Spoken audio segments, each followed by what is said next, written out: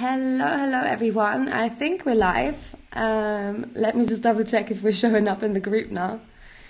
Um, after last week's microphone fail, I thought I would triple check today before we get started. Okay, this is looking good. I can see us. Um, I won't be able to check if you can hear us, but let us know. okay, so welcome to Crush It with Confidence episode six. If you're here live, hashtag live and tell us if you can actually hear us. That would be good. Um, if you're here for the replay, hashtag replay.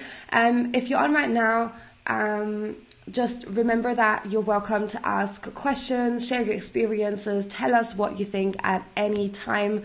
Um, even if you're watching the replay, we can always pop back in later on um, and continue the conversation. Um, if you're watching this, you know, further down the line on another platform, leave a comment, press the like button, and share it with anyone else that needs to hear it. I swear, every episode we've had, I thought, oh, there'll be a time when I'm going to share this with somebody else because it's a message that they really need to hear today.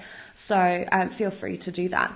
So we're continuing with um, juggling June, as we like to call it, um, and we're taking the time this month to talk to some inspirational entrepreneurs about juggling all the things that we have to do all the time. And today, um, we are finally approaching the topic of running a business when you have young children, which is um, you know something that's been on my mind for a little while. So, um, and yeah, for, for that, the first person I thought of that I wanted to talk to was the wonderful Jessica Fearnley. So that's why I reached out and I said, like, seriously, we've got to come together and um, and do an interview. So Jessica is a business coach who specializes in promoting work life balance alongside business growth. So she helps female entrepreneurs to win back more of their time. Um, and effortlessly make more money and work better with clients. So the idea is to really reduce people's stress levels, increase their quality of life. So um, that's something that I've been very passionate about for a few months because um, it, otherwise it just you know be total chaos at my house. So um, I think we've known each other for well more than a year now. Um, yeah, time's kind of flown really quickly. And in that time, she's not only had a baby herself, but she's actually helped me to bulletproof my business. Um, for my maternity leave. Um, I'll put it in quotation marks. Um, but all of this, like, it almost seems ages ago now. So, um, with all of that said, over to Jessica. Um, would you like to introduce yourself and tell everyone a little bit more about what it is that you do, how you help people, and all that stuff? Awesome. Yeah, thank you. Thank you for having me, Jess. It's really great to be here. And yeah, it doesn't seem like that long ago, does it, since we were both enormously prego. So last year, last year we, I had my second baby, you had your first. And when, I think when we first met, we were both pregnant, weren't we? And it can just be such a, a crazy time of no energy and loads going on and you want to get your business sorted and secure, don't you? So you can decide whether, whether you're going to take maternity leave or not. And yeah, so I have two boys. Um, the eldest is about to turn four and is starting school in September, and the youngest, right? yeah, it's just where did how did that happen? Um, and the youngest just had his first birthday, so we're kind of it feels a bit more like we have two toddlers in the house rather than a toddler and a baby. Well, kind of now like a, a slightly bigger boy and and a slightly smaller toddler. So that's that's exciting and terrifying at the same time. Um, I live in Sheffield in the north of England. Um, my husband is a minister in a church, so he is a very busy man. Um, yeah, so for me, the juggling is just, it's constant because it's between my work, the kids, my husband's job, oh yeah, and you know, life outside, and oh, we're yeah. all having fun, life. relaxed. Yeah, exactly. Um, so yeah, the, the juggling never really stops, but I think I've found that you can get to a point where you really love everything that you're doing and you can find that time that you need for yourself. Yeah. I think it takes some time, right, to get into the swing of things and find some kind of way that works, and mm. sometimes also let go of perfect. Um, mm. like I've been holding on to having things done a certain way for ages, and now I'm like, right, this doesn't work. Just forget about it. Let's just do something else and just scrap this. So, um, so you haven't always been um, doing what you're doing now. Um, how did you end up helping other people to build and grow their businesses? What was that kind of journey like? Because I think it's essential to your priorities right now is what, what influenced you mm. in the past. So yeah. I think it'd be good for people to know. Sure. Um, so I I had my first baby back in 2014, and at the time I was running a startup company. It was a consultancy firm, and we were kind of in the the six figures zone, building towards seven figures, which we hit the year after I started maternity leave. Um, and that was uh, by that time, because I'd already been through burnout, I was working four days a week, not five, because I wanted to have some element of balance. I felt like I was a low energy person and I wanted to have a really good quality life. So I'd already learned a few lessons along the way about how to look after myself, how to be the best version of myself. Then I had a baby and like all of that just exploded. so I have to say, um, if anyone out there is kind of just had a baby and, or, you know, has young children and you just think, how will I ever cope having a second or a third or how will I do this again? My experience the second time around was so much easier. Oh my goodness. But the first time it was literally just like this atomic bomb had gone off in my life. And I just felt like okay, my body is completely different. Like, who, who is this fat person that now inhabits my skin? Um, none of my clothes fitted. I, I, literally, I bought all of my feeding tops in size 8 to 10 because I was like, that's the size I was before I was pregnant. And 20 minutes after the baby's born, I'll be back in them. No, that did not happen to me. So, so I think it was that kind of identity change of like, I look different. I wear different clothes now. My body needs to do different things. So actually feeding a baby, I'm, I'm so bad at being pregnant and I'm even worse at breastfeeding. I managed four months with my first and actually when I came to have my second baby, even my mum said, oh, you're not going to breastfeed again, are you? so that, that was something I found it really hard. I was very bad at it. It made us all very stressed and very tired. So, um, yeah, that was something that contributed to that sense of atomic bomb in my life because I was just like, gosh, I feel like I now have this 24/7 job that I just I'm really bad at. So I, I, just felt quite rubbish about how it was all going quite a lot of the time. Um, but yeah, during the course of being on maternity leave, I just felt like I'd taken my life and my identity and sort of put it on pause for nine months. Yeah. And I just felt bored and I felt lonely because, like my old life, I had loads of friends, and then my new life, I only had mum friends because they're the ones who are around during the day. And I was way too tired to do anything in the evenings. I was like a zombie. So I just suddenly felt like, oh, now I've got a load of friends that I've only known for five minutes, and the only stuff we really have in common is babies. Um, which you know, it's nice to talk about those things sometimes, isn't it? But sometimes it can be really boring. Um, just being like, oh, and then I changed his nappy, and then this happened, and then oh, and then he had a nap, but he didn't have the nappy he was supposed to have, and you're like, you know, it was boring when it was happening, let alone talking about it for six hours afterwards. I mean, having said that, I, I adore my kids and like babies are, it's just, it's, it's indescribable, isn't it? Because it's the hardest, best thing that you ever go through. And like you love them so much and you look at them and you're just like, look at your little hands and your little face and you take a photo of every expression they do for like the first year. But then at the same time, it's just, it's so exhausting and it's so monotonous. And I was really, really shocked by that.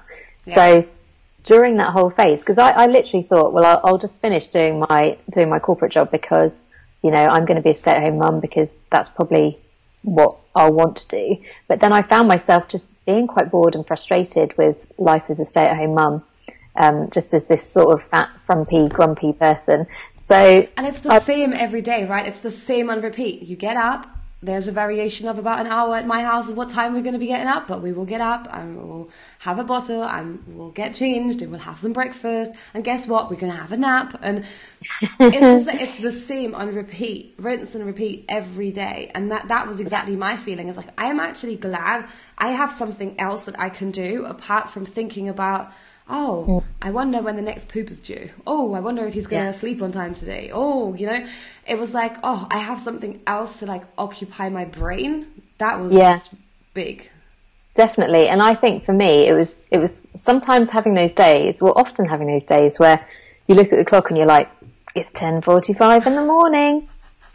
19 hours till you next go to sleep. And, you know, you just feel that sense of like, I just don't know. I don't have anything to do with you. You don't talk, and like, I, I don't feel like I can do any of my stuff that I like to do because then you get fussy, and so you know, I think there was a lot of frustration just about how do I fill the time in a way which is meaningful for for the baby, um, which bonds us together, which really helps me to feel like I'm using this brain that I have in my head. I'm not just like a ginormous milk machine, and so I used to actually walk around the house and just go moo, moo, because I had such problems breastfeeding, which now, 12, no, nearly 12 months later, it turns out he had a tongue tie and that flipping mm. meant that he couldn't actually breastfeed properly. I wish somebody told me that like when he was born, but never mind. But I was like walking around the house, expressing milk, feeding the baby on the laptop. I was like, why does this feel like I'm in a zoo? I'm just like, moo. that was like our joke for like months on end. It was just like, just go moo.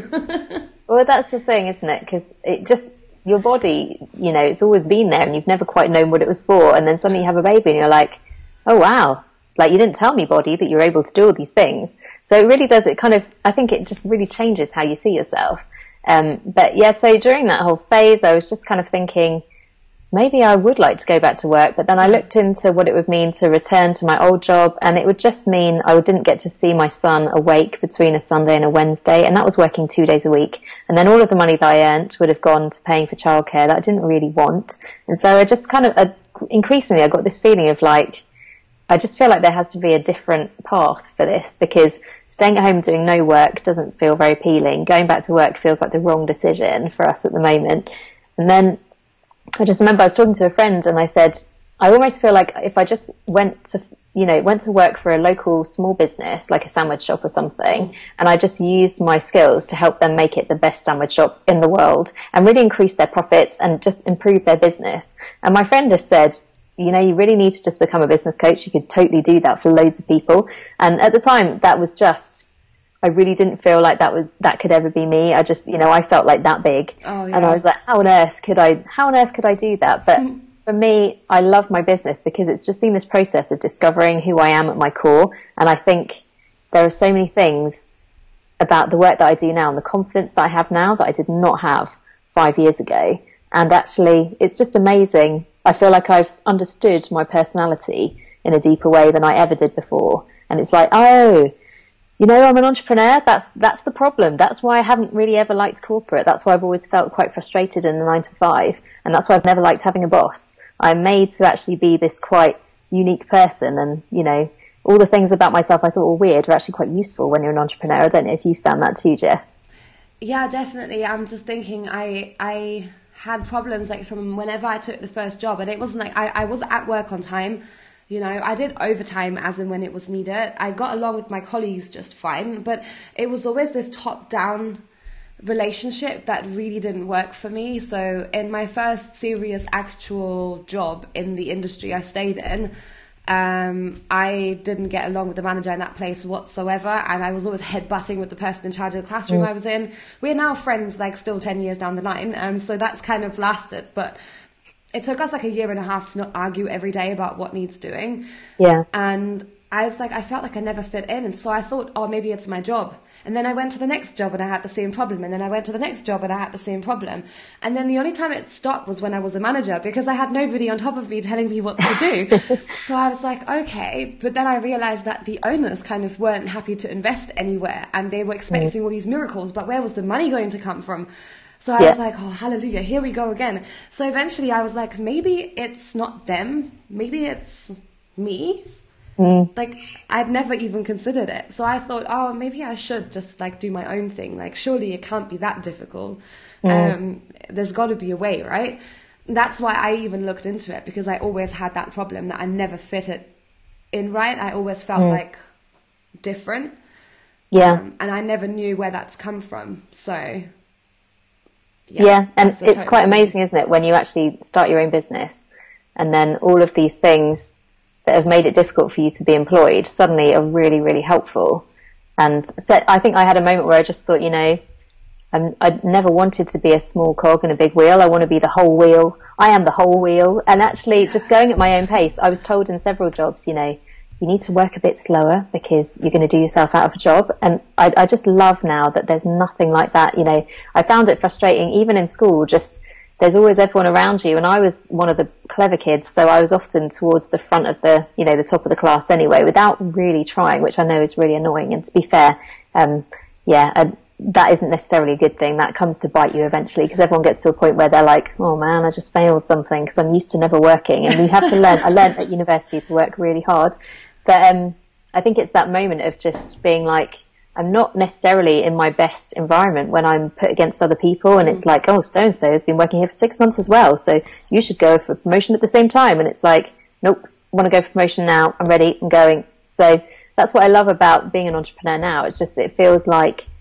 I'm finally in an environment where I can work at my own pace, whether that's really fast or really slow. I can just I can make those decisions and those calls myself, and I think I found that so freeing. Yeah, it's. I think it's it's hard like when you first realize that you're no longer an employee and you have no longer got anyone like giving you rules you then also realize that you no longer have anyone giving you guidance so yeah that employee mindset is very much like right i turn up to work i have to do eight hours of work and then um, I have an hour's break at some point in between. I'll go home right at that time, and that's what I'm going to do. And somebody will tell me what to do. And then I remember my first week after I'd quit my job. So I'm sitting here at my desk, and I'm like, "Ooh, I'm working for myself. This is amazing. What do I do now?" yeah, exactly. And, and like, this- oh. I've got a problem. How how do I fix it? Uh, like I, I really hated having a boss, and I would always, I think similar to you, Jess, I would always find myself sort of hitting up against that authority figure. But then suddenly when they weren't there, I really missed them because I realized that anytime I had a problem, I could just be like, oh, I don't have to think about this. I'll just leave it on their desk. Whereas suddenly you're like, huh, what are we going to do about that?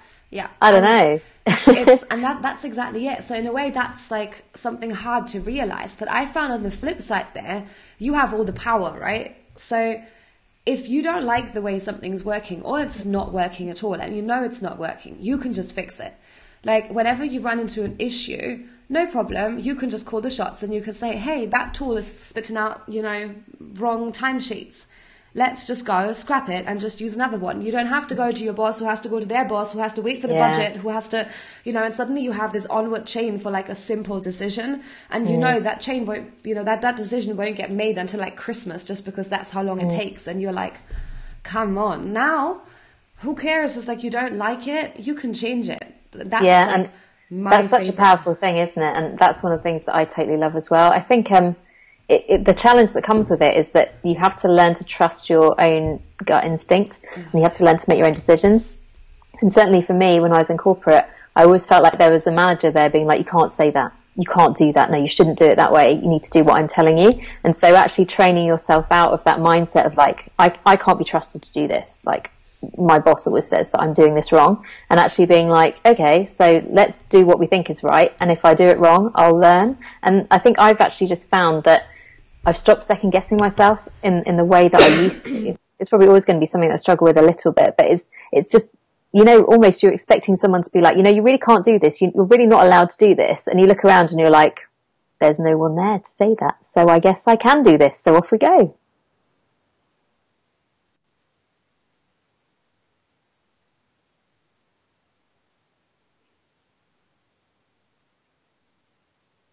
Oh, Jess, I've lost your sound. Oh, Can you hear on, me? There we go.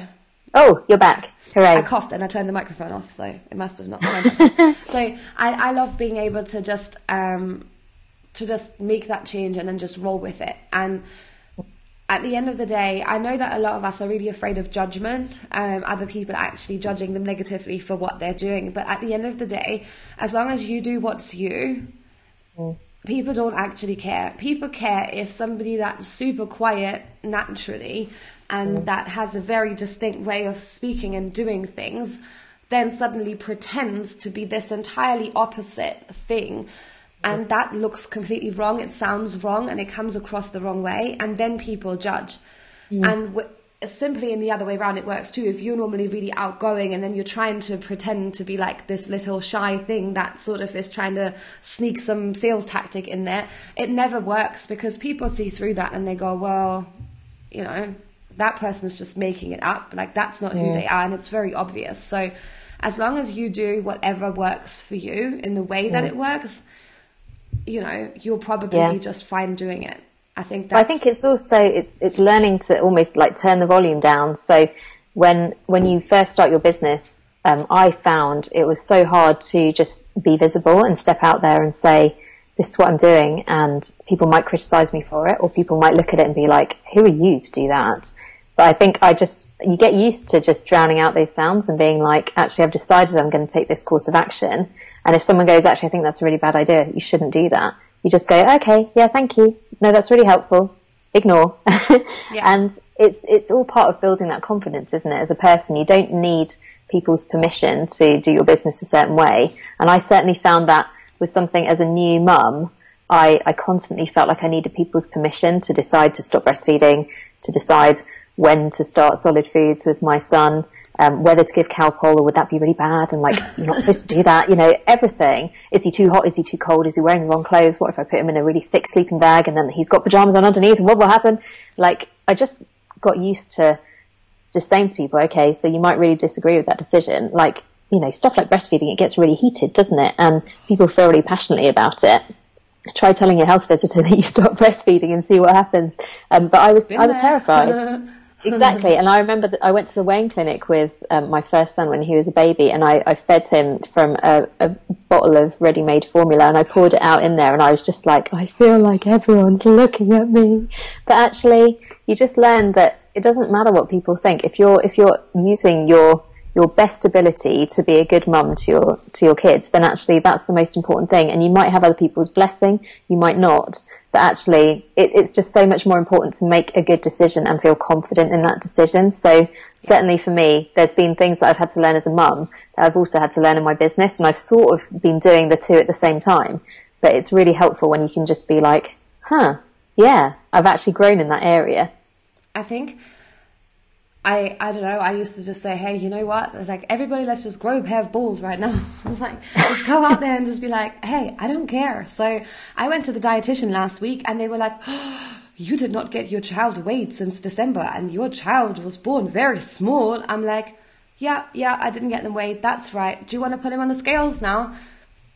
Like you know, you, after yeah. after some time, you just learn to stand up to people. At the end of the day, I think they they have a job somebody else has a job and they, they're just trying to do the best that they can and it might not be right for you but just mm. take it and leave it like oh, yeah that doesn't have to be like the defining thing about your identity or your behavior no. i remember when my second son was born i had a voicemail on my phone from the breastfeeding service locally and they just said oh hello we're phoning up to see how breastfeeding is going we'd like to talk to you about it and i was like i'm just not going to call you back because I've had a baby before. I've been bad at breastfeeding before. I'm bad at it now. I know what I can try. I know who I'm going to talk to when I need help.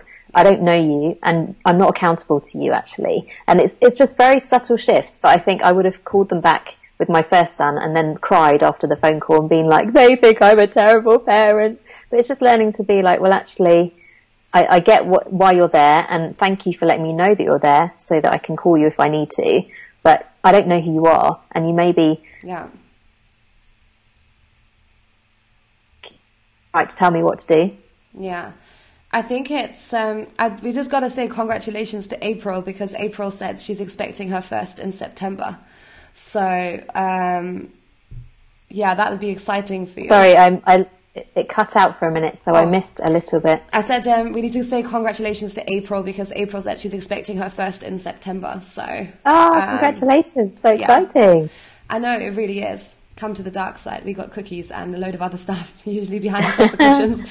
so, um, so let's talk about isolation. So I get what you're saying about like this whole mum thing, and I found that I've taken I've taken Jack to play group a few times, and I'd go there and I'm sitting down and I put him down, and he's playing with his toys, and I'm trying to talk to all the other mums. Mm-hmm. And there's just like no conversation because everyone's like how old is your little one? So that that's like the elevator pitch of mum groups right? Oh yeah. he's very cute. How old is your little one? And i'm like here we go again. That same old conversation. I'm like well this old and your one. Well this old. Mm.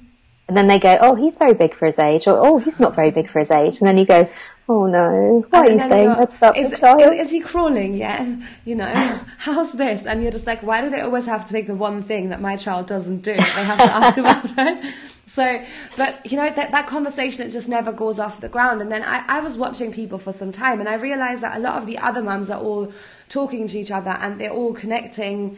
Um, you know, they're all connecting over their babies and what amazing things their babies are doing.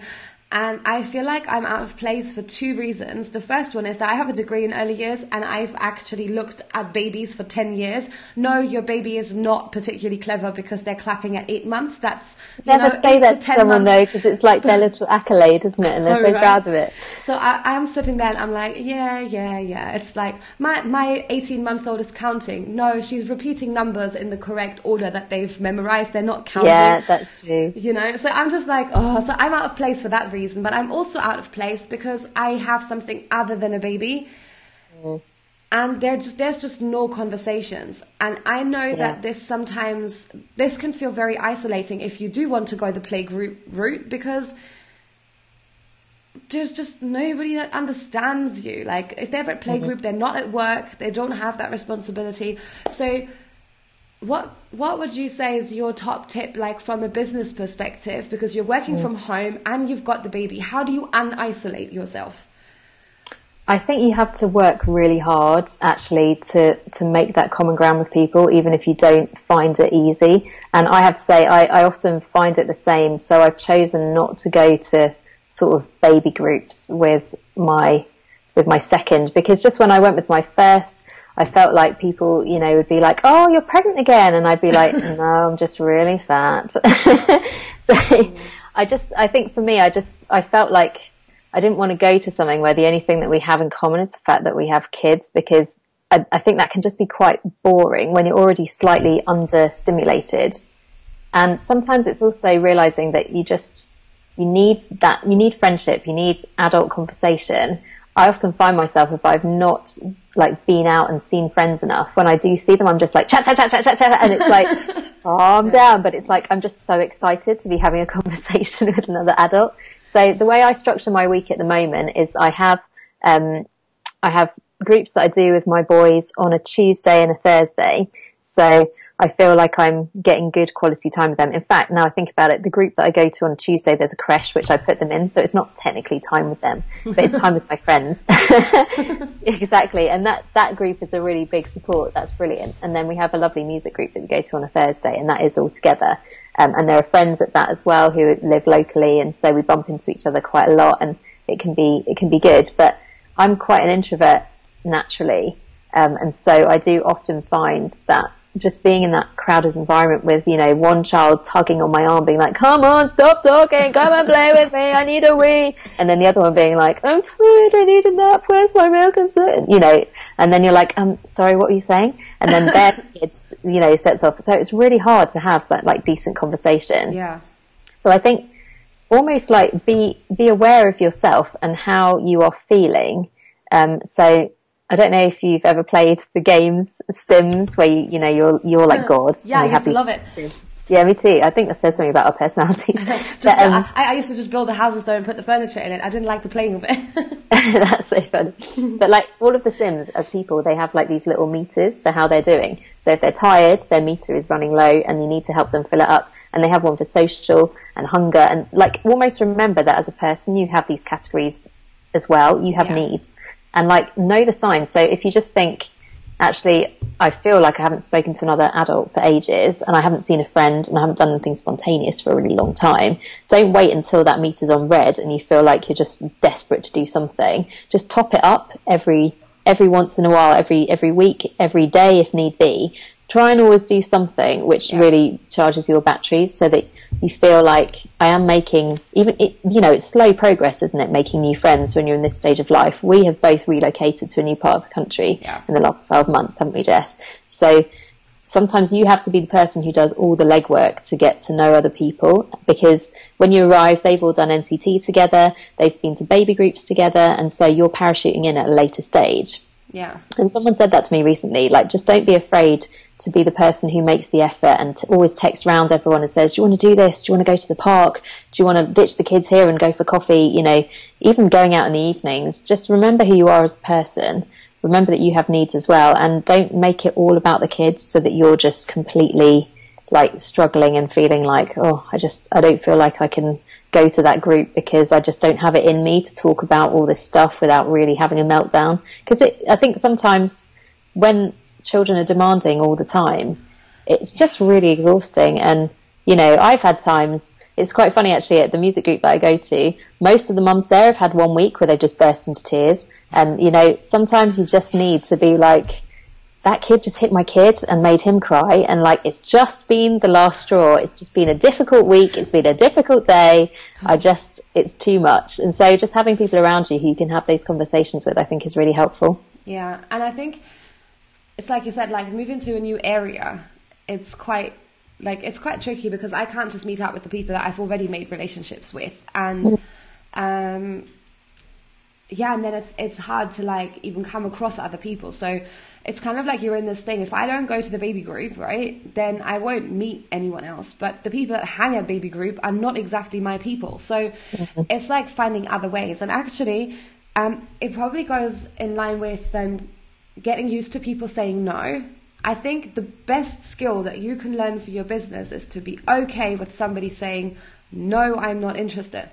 Um, mm. And it's the same, like if you go out there and you practice making relationships with people, it doesn't mm. matter if that's in person, if that's to do with the kids or whatever, or if it's um, for your business, it's the same thing, right? Business thrives off relationships. The more people you can meet and get to know and speak to, make connections with, the more likely things are to happen. And if you practice that in person where there's very little, you know, it's just about do you want to meet up and like go for a coffee? And what's the worst thing that person can say? They can say, oh, well, no, I'm, I'm really a bit busy.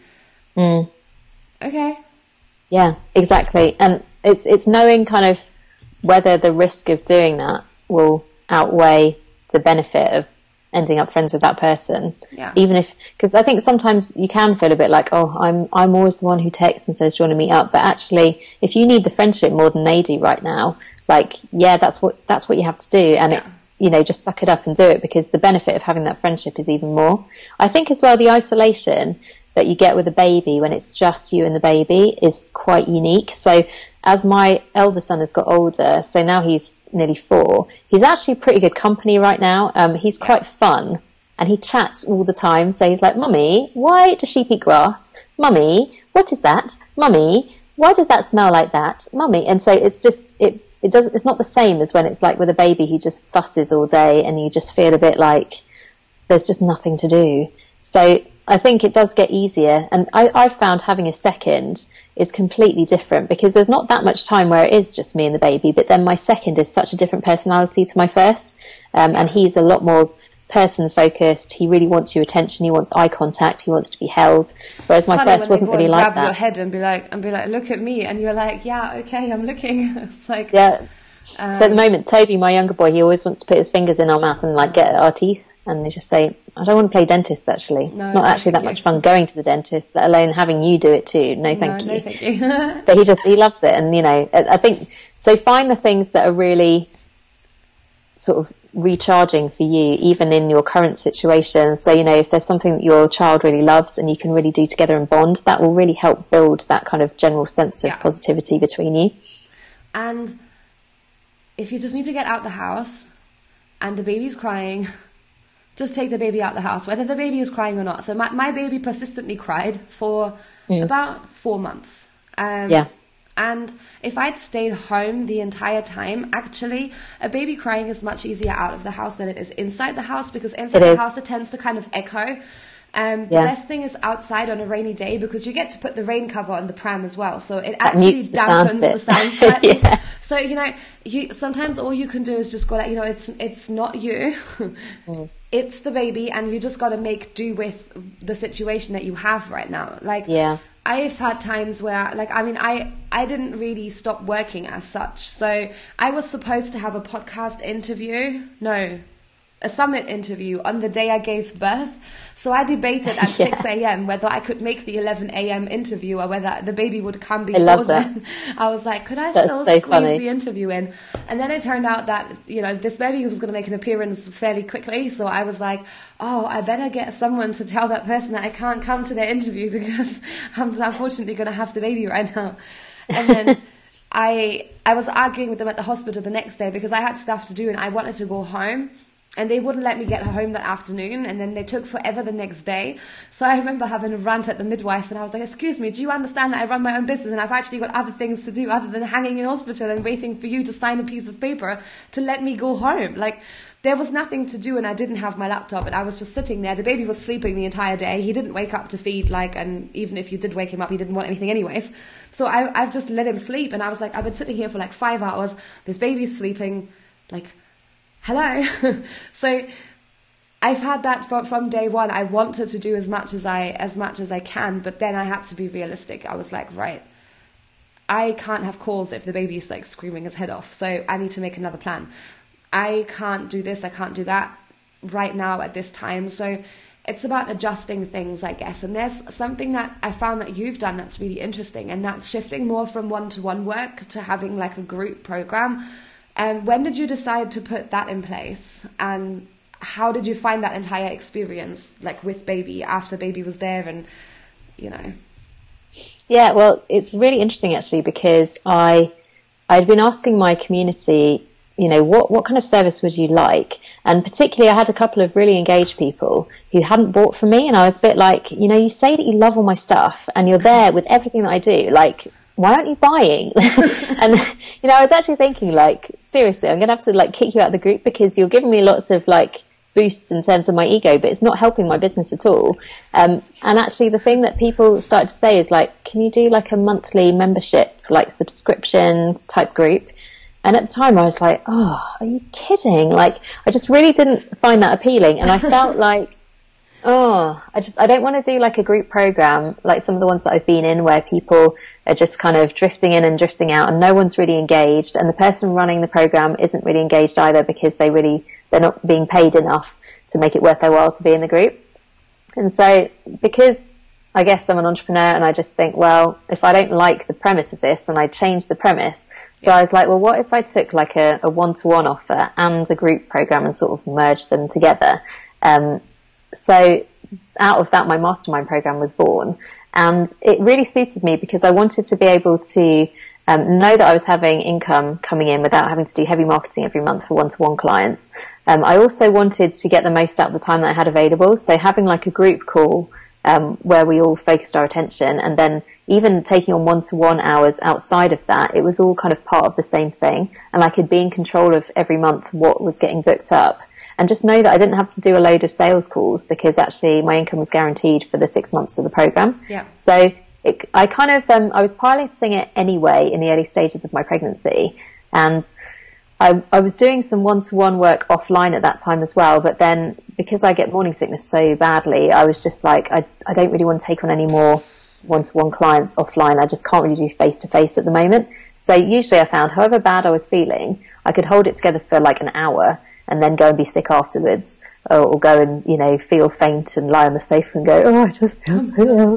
but it was really important to me to kind of find something which enabled me to almost sweep aside all of the pregnancy stuff and just say, I can be my normal, you know, my healthy self. I can, I can hold it together for an hour or two hours to do this call and then I'll re- resume my pregnant life after that. And I think yeah. for me, compartments in life always seem to help. I think you can overdo them, but I think just having something where I say, right, work is going to be my protected time, where actually the stuff going on outside work isn't going to encroach on that. Yeah. Um, so that was a really that was a really helpful thing, and it just I think as as I did the mastermind, so I've, i just launched it for the fourth time in April, and I ran it twice last year because um, it's a six month program. I think as as I ran it each subsequent time, it just felt like it was it was growing more and it was more fun, and I sort of I started to find things about it that I really really loved. So it was almost like a big surprise, and everyone always says, don't they? Like ask your community what they want. And yeah. guess what? It's a really good idea. and they'd be like, "Oh no, you were right as well. Come on." but that that's the thing, though. It's like sometimes we are so stuck in thinking what we should be offering people, and then we forget to actually ask in turn, "Hey, what do you think of this idea?" and and we also have to remember that when we do ask people, and they say, "Yeah, yeah, that's a good idea." Sometimes it, it comes around to buying time. Yeah and they've decided that actually they weren't all that impressed with the idea, so that they're not going to vote with their credit card. They're they're, they're just going to vote and say yes for someone Yeah. else. So um, that's something to also bear in mind. So if we're thinking like taking April as an example, so baby's coming in September. That's like now three months away, a little bit less than that. Ooh, getting close. so it's like eek. Um, what would you think were the were kind of the key things that you would think somebody would need to do to get their business ready for having baby arrive? Yeah, it's a great question. I think um, think about think about your business as a whole. Think about your business model. Is it going to be something which is sustainable on no sleep? And I always say to people, plan for the absolute worst extreme because I actually found. I, so I went back to work three weeks after my second son was born. Um, I have to be honest, going in Facebook groups at that point, I did burst into tears once because it was just a bit too overwhelming. Because it's it's funny, like sometimes you feel completely normal when you've had a baby, and other times you just feel incredibly hormonal, incredibly Yeah, vulnerable. it's your hormones. Like it's unpredictable, right? Like people stop talking to you properly. They're they're just like, I'm just not going to say anything dodgy just because I don't know. Like, Well, exactly. And I think after, even after my second son was born, I had quite a complicated um, labour. I had a very bad tear, had to go to surgery. Um, apart from that, it all happened in the last second of labour. Apart from that, it was such a good labour experience. And I was like, yes, this one's going to be a good one. and it just went completely wrong. Literally in the last second, he just came out way too fast. Major tear, really bad. Um, so it did take me a while. It took me a little bit longer, I think, to recover. And I just remember for the first three weeks, definitely the first two weeks after he was born, I just, you know, that jet lag feeling where you're not really sure if you're awake and, or if you're dreaming. I felt really out of it. And I, I remember someone came to visit and I was like, I know that she's here. I know that she's sitting here, but I feel super woozy. Yeah. I just, I don't know if she's actually here. I don't think I'm imagining it, but I just had that slightly surreal feeling. Um, so if, if you feel like that when your baby is born, imagine how hard it's going to be trying to do your normal stuff 100%. Yeah. Um, so try and scale down if you can what your business model is. Try and take the absolute minimum hours that you can think of working and get the maximum profit out of them. So for me, that was turning my one-to-one offer into like a hybrid mastermind group where I, I had fixed income for six months because Yeah. people paid a monthly amount. Um, I, I was only committed to, I think I was working six hours a month for most of last year, which was literally contact time with the people in the group. Um, make sure that you just, everything is manageable. And it sounds, it can sound quite like, oh, you know, I don't want to cut my business down. I actually earned more last year than I did the year before in my business when I was working really hard, like 15 hour days sometimes, three days a week. And so I think a lot of that is because I put in a lot of foundation work the previous year, but my business was more profitable and I worked absolutely tons less. And that meant saying no to a lot of things. There were loads of things that I'm doing in my business now that I really wanted to do last year, but it just meant being disciplined and saying that's not the time to do that actually. And that also goes for outgoing. So the thing that I did in the very early stages of my mastermind, I wanted a profitable business model. So it wasn't enough to just be like, well, my income, you know, is going to be fixed at this level.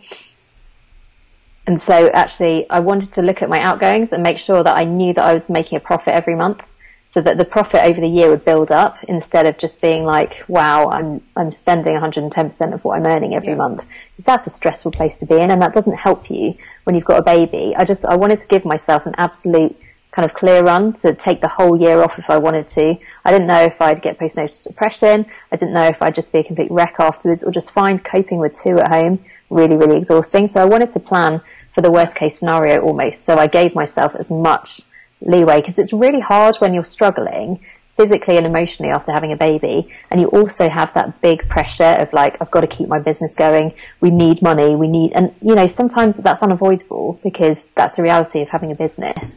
But I think you can you can make things easy for yourself by just expecting that you will feel really shattered and you won't really want to do anything because then if you do it's an absolute bonus. Yeah. but then if you don't you're not kind of being like oh no I've sort of anticipated that I'll be able to work four days a week and I just can't and that that I think helped me an awful lot because um, I, I mean, I didn't feel like I had so much of the problem, but I'm like this baby. I'm like I don't even know whose baby this is. Like, come on, like nobody in our house is that on edge. So, as much as I felt fine and I felt ready to work, my baby chooses to get up um, a lot.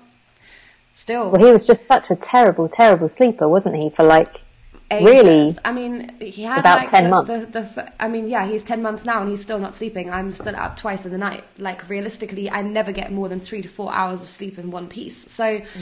And that's not for lack of trying, you know. Everyone Yeah. will come down and be like, "Have you have you have you read this book? Have you tried this system?" Just like, trust me, I've tried it all. Even the dang sleep consultants quit on us. So, like, my child will not sleep. So what can you do? I couldn't predict that. I couldn't know that. So in a way, And you can't control that. You can't make decisions about what kind of baby you get because it is literally luck of the draw. My first was really hard work. My second is an absolute easy dream. Yeah. Like no one in any of our families is as easygoing and happy as he is. We don't know why he's like that, but it's complete luck of the draw. And I did, you don't really know as well until you have your second whether your first was easy or very complicated. And I think it's having a second who's easy has made me realise that it was very hard the mm. first time around for us.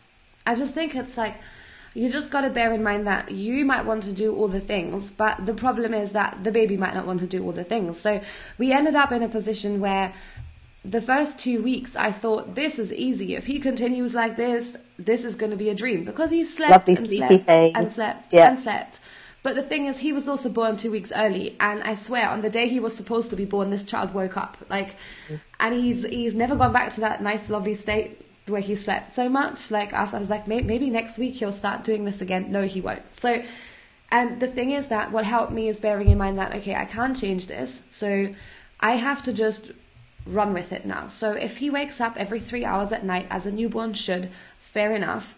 Um, he's going to be awake for about an hour and then he's going to go back to sleep. So I'm going to be awake for an hour. I'm going to work for an hour um, while he hangs around and just, you know, looks at his things. I'll have a quick chat with him and then I'll work for a bit and then he'll go back to sleep and I'll go to sleep. And then when he wakes up, I'll play with him for a bit. We feed.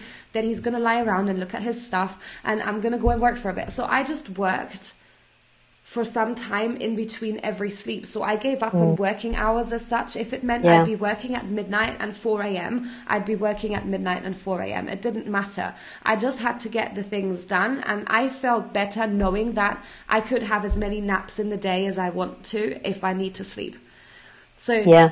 that worked for some time. And then, um, and then things change and they change every couple of weeks, right? So you just have a system that works. You have a routine, and then the baby goes, No, no, I don't like that routine anymore. I'm gonna change it up a bit. So you have to Yeah. go and you have to review everything all the time. So I expected the worst. I handed out all of the work so I didn't have to do anything.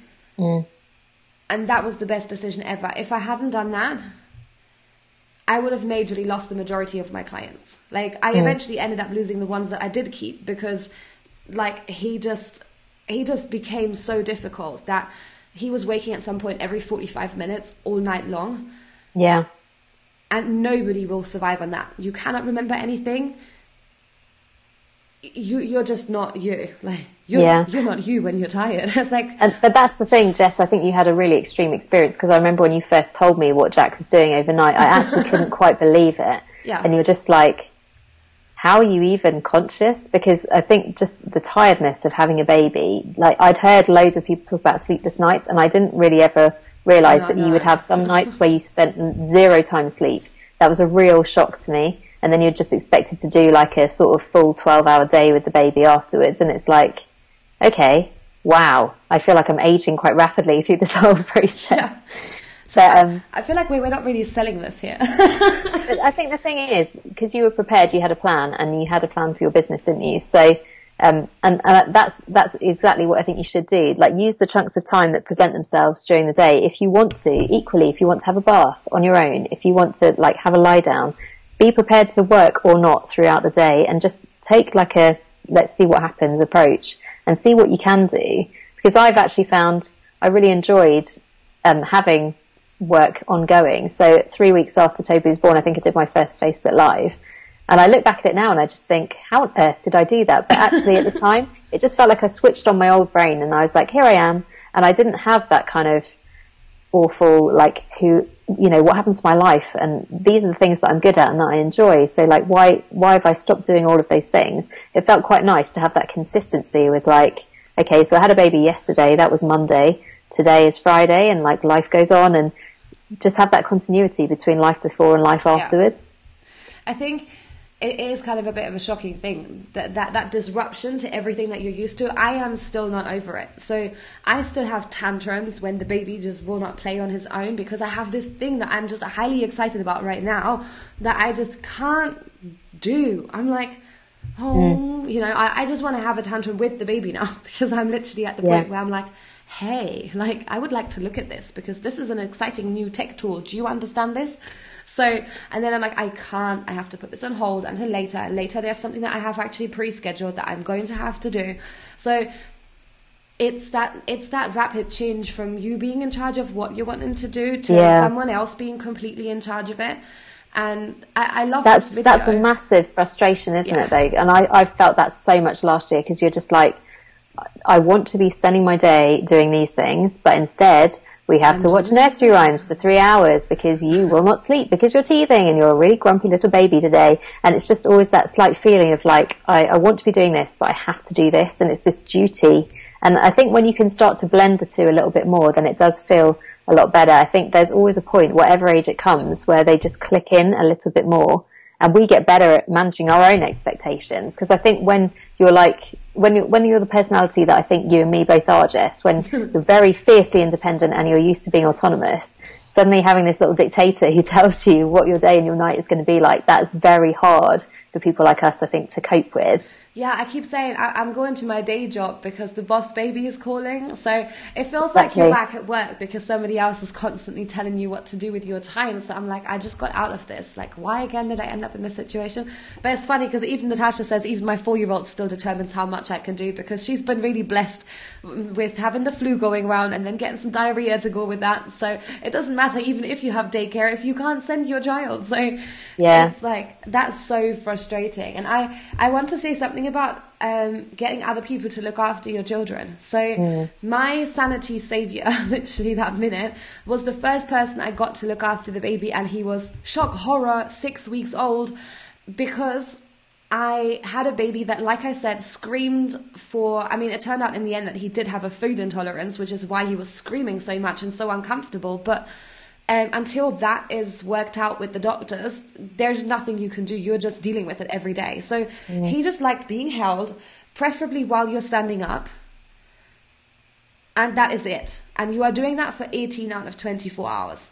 Like, that's mm. literally what it was like for some of the days. So mm. I needed some help to not go completely do doolally. So I luckily had work to focus on to stop me from thinking so much about mm. how much I hate this situation right now. Mm. Because there's nothing you can do. You have the small person screaming at you, and nothing you do fixes it. Mm. That is exhausting. I used to put the big noise cancelling headphones on while I held the baby just because I had this headache that would not go. Yeah, so, and you find that when you're in the shower or when you're going to sleep at night, you can still hear the crying, hear it, even though it's stopped, and it's almost like a sort of traumatic thing, isn't it? Because it, it, makes it, even if you're calm about it, it does make you really stressed. Like your heart pounds when your baby cries. Yeah, that you, you, we're genetically predispositioned for that to happen when it's your own child. So that that's like, but even newborns are like that. Even in a supermarket, if I, if you hear a newborn crying, you go, "Ooh, the baby's crying." Like, yeah, it makes you look round, doesn't it? Huh? And if you're still breastfeeding, then you get your letdown. And you're like, oh gosh, why like, is that? Oh, it's like everything's just soaked. So these are just those, those like really weird moments. But I I had to get some help, and I got someone to come in for like four hours, five hours, twice a week. Um, then we moved house, and then I get got someone to come in for two days for like seven hours. Now I'm looking. He's ten months now. I'm now looking at the possibility of getting some kind of full time daycare in place. And the thing is, what what was important for me is that it's a choice. I'm making a choice to get help. I'm not forced into returning to my work and having to leave my child when I'm not ready. So if you feel like you need to get some help, I think it's really important that you do. Um, I had to do it just to stop people from getting hurt, like honestly. And that, that was probably going to be myself. I'd thought quite a few times I could just put the baby down and just jump out the window. Like it, yeah. it just makes you go crazy it when you have you days like places, that. doesn't it? When it's just because it's the responsibility that I'd never felt before of like I can't just phone someone else and be like, can you just do this because you're the mum. And like often even even the, the baby's father, they don't have that responsibility on them in the early days that, that you feel. I found that a complete shock. But I think you, everything that you're saying is completely true because I, I had a, a, kind of ideal about, you know, my children will not go to nursery before I, I went on maternity leave. I just, I was dead set against it. So then it was quite a shock to me when my first son was one and I'd started doing my business and I was ready to start saying, right, okay, let's, let's try and do this for a couple of days a week and see what happens. Um, it was, it was quite a, a sort of come down for me to just be like, oh, I have to get off my high horse now because he's actually starting nursery. so, and I, I just, I actually loved that. And so with um, my second son, he started nursery at five months old because that was basically the point at which he wanted to be the center of attention when I had a client on, on Skype. And so yeah. he would cry and you know, as soon as I finished the call, he'd be like, hello. And I'd be like, oh, and you, you can't have a baby crying like that when you're when you're people are paying to work with you. It's, no. it's not the professional image that I wanted to put across. So my second son started nursery at five months old.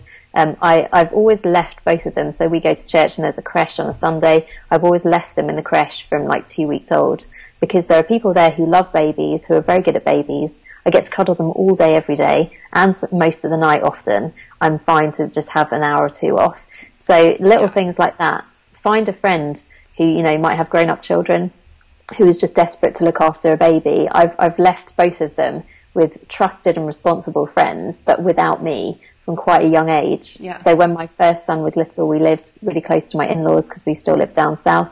And um, they used to have him, I think, from the age of about four months for a day at a time. And that was just, it was one day a week. And it was really helpful for just giving me that bit of space, but also getting him used to the fact that there are other people who can be really fun to be with and it doesn't always have to be mummy. Yeah. I think that's something that it's changed a lot, right? Because like if you go back 50 years, there wouldn't have just been one person looking after looking after the baby, right? You would have been staying with your family, and there would have been from day one aunties and uncles and nannies and granddads. There would have been all these people around you, and now we live in a very isolated way, and you can't just. I have nobody I can just leave the baby with, realistically. So, um, for me, there was no option but to get someone to help me. Um, yeah. And it's helped me as far as the business goes. It's helped me on a personal level, and I think it's helped him because mm. even now, when when Anani arrives, I can just go and leave him. I don't have to worry about him. Like mm. he's happy, he's excited to see her, and that's it. So, we like I've tried from the beginning to like not be too Mm. you know, not have him too glued to me all the time. And well, I think sometimes it can be a trust thing, and even even with the baby's father, um, some mums can find themselves just being like, I can't trust you with the baby. And I think that is understandable. That's a really strong instinct that we have. But yeah. I think it's always good to involve other people in looking after your child if yeah. you can. Because you've got to be able to trust your partner with them because otherwise you're going to be doing 100% of everything day and night for the next however long. Yeah. Um, and that's not sustainable for the long term and it, it builds a rift in your relationship as well. So I've always tried really hard to have a co-parenting situation with my husband to the point that actually now often in the mornings, he gets up first, then he gets the boys up and gives them breakfast. And I, I feel quite guilty sometimes because I'm just like, wow, I'm just like this lazy person. I get to, you know, get up a little bit after them, have my shower, get ready, come down, and then he takes the kids to nursery if it's a nursery day, or I take them out to the groups if it's not. And then, you know, it's it's almost for me, it's been dealing with the fact that actually now we do have an arrangement that works quite well. That it's taken us several years to perfect, but um, it's it's feeling that guilt of like, shouldn't I be doing all these things because I'm the mum? The mum is supposed to be the one who does everything, who complains about everything all the time because she's so put upon. That if you can just work out what arrangement you actually want in your own family and put that into place, and you can't always control what your partner will want to do or not want to do, but I think it's good to have a dialogue about it and just make sure that you're not just taking all these things on by default. Yeah, my top tip is like enforce that, like, and don't make it optional. So yeah. because we had this really difficult start with having a baby that um, just cried, um, I found it extremely hard to handle. Um, and I'm used to babies and I understand why they cry and I know that they're not doing it on purpose. I've learned all of these things through stuff I've observed for 10 years. Um, so we were in the boat where we were like, right, I'm just going to hold on to the baby because I can tell that you are losing it and you just got to do whatever you need to do to protect your situation. Mm-hmm. But that's left us in a position where now sometimes it can be very hard to get the other person involved again because they're used to doing everything. So I can recommend mm. that from early on. You are very clear on who does what and you just enforce it and you just roll with that. So, like, I managed to go away a couple of, was it a couple of months ago already? I went to the yeah. US for a few days. Um, which seems like a lifetime ago by now. But um, and I kind of just said like I, I really want to go, so we're gonna have to make some kind of plan on how we can how we can make that happen. So in the end, it worked out perfectly fine, and I just left them here, and they came back, and he still got his head, two arms, and two legs on. So you know, I'm not going to complain about it. I'm like, whatever you guys, you know, just do what you need to do. But it's funny that responsibility never leaves you. Even when you're abroad, you get text messages alongside the lines of what time should, should he be going to bed, and I'm like, I don't know. yeah, and I, I think actually that's a really good response if um if your partner you know, I, I love my husband. He's completely wonderful. But if he kind of, if he asks a question like that, where, where one of us needs to make a decision, then often I just say, well, I don't know. What do you think? Because it's important that they get used to making these decisions as well. So otherwise everything operates out of your brain all the time. And you're like, oh, okay, so their routine is this, this and this. You both have to know what the routine is. You both have to be able to step in or out at any point because otherwise it's too much on on one partner and it, you're not sharing that responsibility. Because actually it's it's good for the child if both parents are really involved. Like being a hands-on dad is so important i think. And that that is the hardest thing. It's that responsibility that always weighs on your brain. It's like you cannot switch that off. You, you can switch off your laptop and leave the business. Mm. but you can't switch off the baby and just put it in a corner. So I'm afraid that that responsibility just kind of is always there, and having somebody else that helps you to make you know joint decisions it truly works wonders. So, yeah, really important. So, what would you say would be your parting tip to anyone? Your top tip for surviving business and baby? I think probably two things. Have a really clear idea of what you want to achieve from your business and get really clear with yourself about the goals that you have for your business that year and how you're going to make it happen. So the what and the how are just so crucial for, for having a really strong business. I found actually it did me so much good to just have a year where I was all about the delivery and I wasn't really thinking about I'm going to, you know, roll out this program this week and do something else the next week. Mm-hmm. It was really, really helpful for my business to just really have to focus in. It gave me so much clarity on my ideal client. It gave me so much clarity on my core offerings it's really been a good thing for my business. So try and use it as an opportunity. It's almost like a sabbatical where you're just, you're thinking big picture in a way, but you're just not doing very much. And yeah. so you have to pause and get that focus. Second thing is just keep a sense of humor about the whole thing. Like when the baby poos over the wall, that is actually funny. It doesn't feel like it at the time. When they throw up on your face, you don't love it at the time, but actually you will remember that your whole life about this particular season where you're just like, oh gosh, yeah, the things that things that we have been through. Mm. But um, there are so many lovely moments, and I think if if you're just super focused on having you know the perfect solution and making the baby work, you know it's it's not going to be an enjoyable experience. So just take take the opportunity to enjoy that season of life.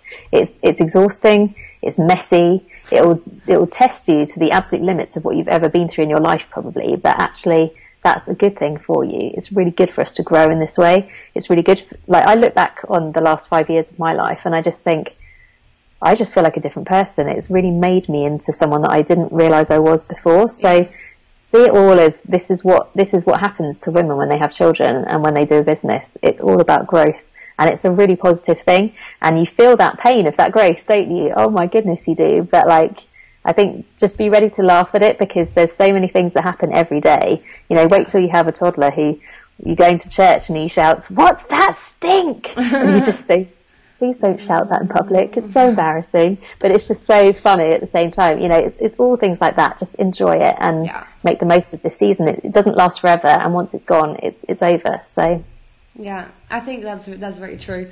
And I mean, there's just there's just always going to be something that that's happening, right? Like Jack had a habit of pooing on camera for like three months. So every time I was in a meeting, he'd be nicely quietly sitting on your lap, and then suddenly out of nowhere he just goes, Ugh.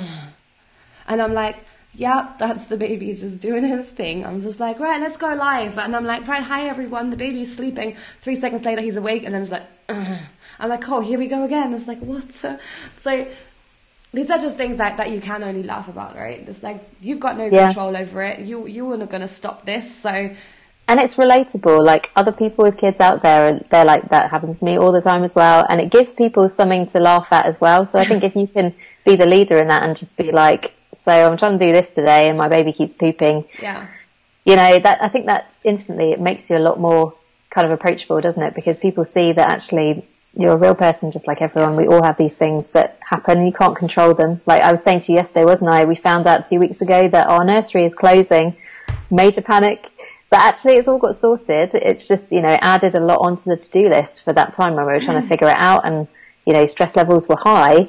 And I had my perfect plan mapped out for September when my son starts school and then my yeah. other son will be in nursery and I'll have my, my walking route all mapped out. That's all gone to pot. But like, yeah. that's what happens, isn't it? That's the reality and it, that, that's just what it is. And sometimes, like if you have clients that can't deal with it, I had I had a couple of clients that from day one, when they knew I was going to have a baby, they were really struggling with that idea. Um, they didn't like it, um, and yeah, things took longer to get done. Mm. Yeah, I have forgotten things on the odd occasion, which is not like you know my standard way of doing things, but like there's one thing about pointing it out and then there's something about like just wanting to like actually like lay mm. into you and if you have people that you're that you have been working with and this is the experience that you have then you may need to think about whether they're your ideal client now or not and i do think your personality significantly changes when something like that in your life happens like mm. i i said a little while ago that I always tested as um, ESFP on the Myers Briggs, and now I test as ENFP and have done consistently for a year. Mm. And they're not supposed to change, right? So these things yeah. aren't perfect. This is supposed to stick with you your entire life, but it's not. I think it was when when you asked us to do the test actually in the group that I did it, and I was like, no, this result is wrong. Like this it's wrong. Yeah. But yeah, it's basically it does change you. And sometimes that means that who you want to work with now changes mm. or your mission changes or how you want to do things changes. And that's okay too. Just go with the flow, I guess. Yeah. Um, so yeah, okay. Well, we've been at it for ages now. So, um, if people want to find out more about you and get any kind of tips, support, help, where would you like to send them? Um, so I have a Facebook page where you can find out more about my business. That is Jessica Fearnley Business Consultant. I also have um, a little quiz called "What Stage Is My Business At." Um, which I think there's going to be a link for that somewhere. Is there, Jess? Yeah, I'm going to put the link up. I've got it, and it's it's a really good quiz. So do take it. Yeah, and if you like the quiz, there's a recorded masterclass that follows on from that, where you can um, dive a bit deeper into the stages of business that I've observed while I've been a coach and in my career as well. Um, and yeah, if you like that, then there's more more on there about how you can find out more about working with me. Yeah, sounds good.